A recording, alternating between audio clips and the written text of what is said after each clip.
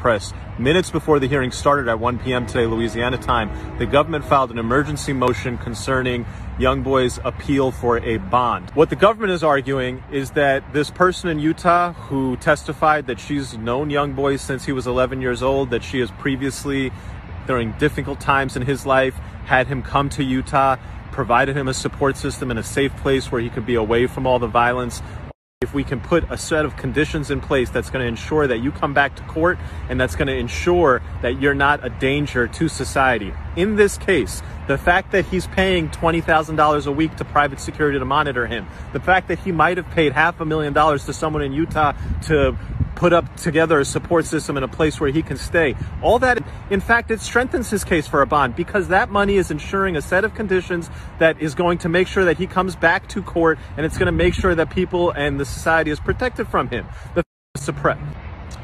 On the motion to suppress, two police officers from the Baton Rouge Street Crimes Division took the stand and they testified about their investigation at the scene of Young Boy's arrest back in September. Very interesting strategy by the defense.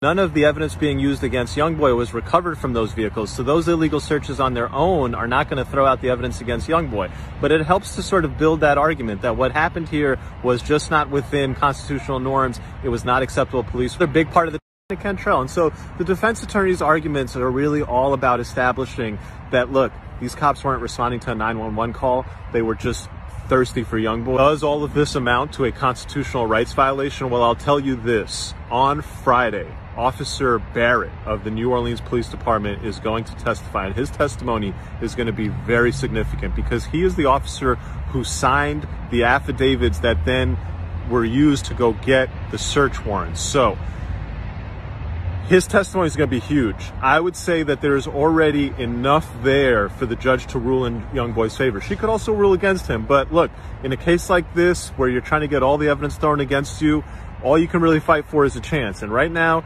he's got a chance. See what happens Friday. We'll have a